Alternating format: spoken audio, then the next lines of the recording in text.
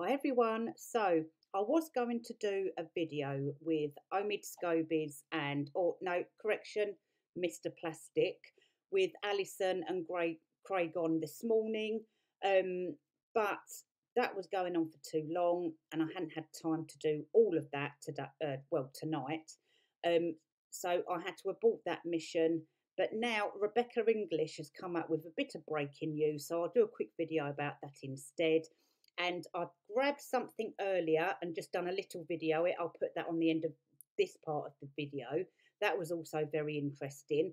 So, as you know by now, Mr. Plastic, with his mammoth eyebrows, has um, put his um, what's it called endgame book out there right in front of you. Holy flop, right in front of you, and you forgot what the book's called. Never mind. My 40s brain is really in full swing at the moment. So, he came across very defensive, don't you think? Very a bit gaslighty as well. But he he has forgotten that the public have seen his tweets in the past and present, hasn't he? Very clearly.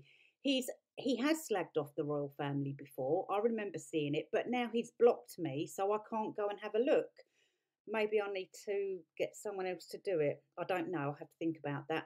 But yes, he's in denial. He's obviously attention seeking and it's everybody else's fault. So, in other words, he's been caught red handed and he's blaming everybody else. It's the Dutch Dutch's fault, it's um, Timbuktu faults, it's everybody else's faults apart from his.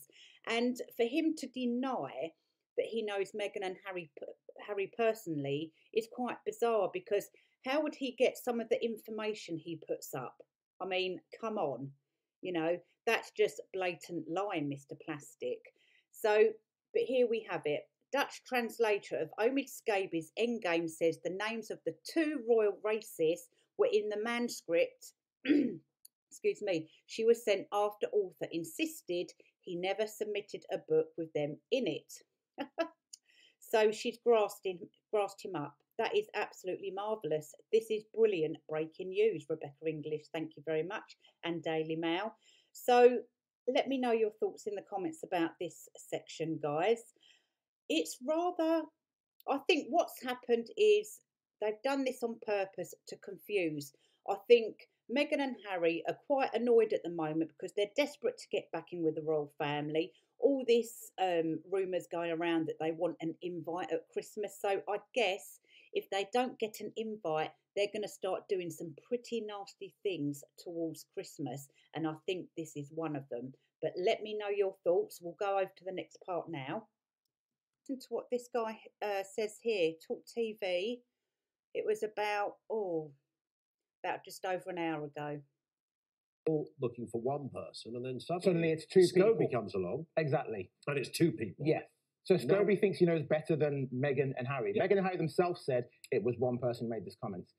And then Scobie says, no, no, no, no, there was two people. And Meghan, I, I, I doubt highly that what Scobie's saying about it being two people is correct. Um, I don't believe I don't, I don't believe that he's right on that. I think he's fabricated that to try and move the story along a bit because his book is only publishing things that we already knew about. But I can confirm to you from my reliable source, it was one person and it was not Charles and it was not Kate Middleton. And you see on the talk, 6 p.m. Monday to Friday. I'm not a fan of Kate Middleton either. I'm normally quite disparaging about her. I may have called her Lazy Kate a few times. Yeah. I'm not here to defend Kate Middleton. Oh, how dare you talk about our Catherine in that manner? Oh, you racist. Goodness me. Oh, I don't like him. But anyway, at least he was fair. At least he called Mr. Plastic out there. So I guess, guys, let me know your thoughts in the comments about all of this because now I've heard this, it seems like Mr. Plastic and Meghan and Harry have just piled all of this on, hoping that it will get out very, very quickly to keep the attention on them as per usual. Anyway, I need to go. I'll catch you soon.